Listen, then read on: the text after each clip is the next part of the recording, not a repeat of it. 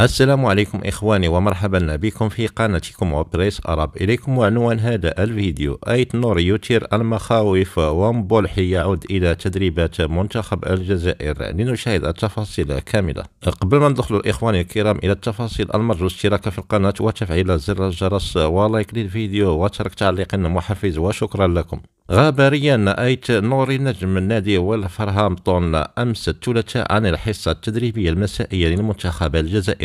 ضمن المعسكر الإعدادي المقام حاليا في العاصمة الطوغولية لومي. استعدادا لنهائية كأس أمم إفريقيا 2023 بالكوتيفوار ووفقا لما جاء في بيان رسمي للاتحاد الجزائري لكرة القدم فاف فإن أيت نوري غاب عن التدريبات بسبب معاناته من الزكام حيث قرر جمال بالماضي مدرب الخضر إراحته وإعفائه من التدريبات إلى حين التعافي بشكل نهائي.